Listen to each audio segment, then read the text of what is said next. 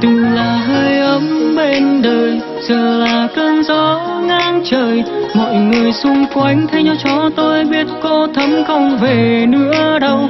Đặt tròn niềm tin sai người, giờ này ai khóc, ai cười, thề hẹn làm chi để rồi bỏ đi. Tôi cố đem tình vun đắp mây hóa ngang trời che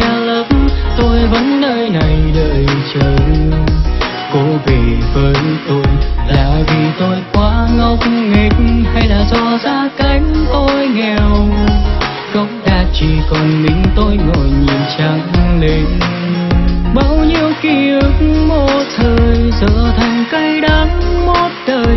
Nhà cao xe sáng vây cưới lòng lấy sớm tối còn